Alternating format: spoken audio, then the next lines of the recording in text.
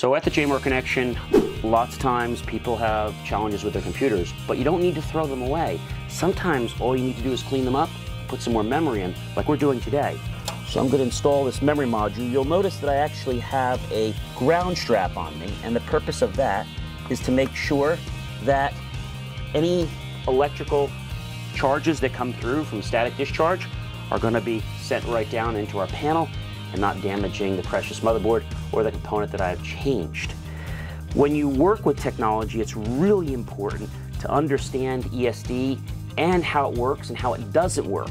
Just rubbing your feet on the carpet and holding a USB stick could actually erase precious files and data and will never be able to be recovered. Again, I'm John C. Morley with the JMOR Connection, and we take pride in repairing every computer and technology so that it works even better when it got here.